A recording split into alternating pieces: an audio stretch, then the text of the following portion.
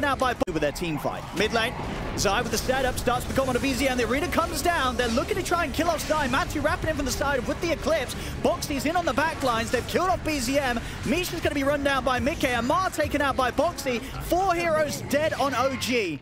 As OG, they smoke, they try and get the combo together. They only kill off Zai. They just can't get anything more. It just seems impossible for OG to slow Liquid down at this point. Yeah, Liquid now gonna go with a very confident Roshan. Kill almost the entire